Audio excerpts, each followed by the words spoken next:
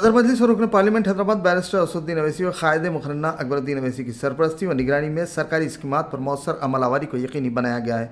اس سلسلے کے تحت حلقہ اسمبلی کاروان کے M L A Kausar Mohi Uddin rows function hall Golconda خلا میں شادی مبارک کے چھیالیس چیکس اور کلیانہ لکشمی اسکیم کے چھ چیکس کی متعلقہ منظورہ درخواست گزاروں میں حوالے کیا۔ واضح ہے کہ گزشتہ چند دن قبل آصف نگر و دیگر منڈلوں کے بھی سینکڑوں چیکس متعلقہ منظورہ امیدواروں میں تقسیم کیے گئے تھے۔ تقریب تقسیم شادی مبارک کلیانہ لکشمی چیکس کی تقریب میں متعلقہ مجلسی اعلیٰ عہدیداران، اراکین کارکنان استفادہ کنندگان و دیگر کی کثیر تعداد موجود تھی۔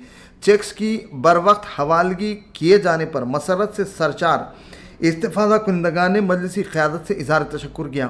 بعض انہوں نے میڈیا سے بات کرتے ہوئے اس سلسلے میں مزید تفصیلات سے واقف کروایا۔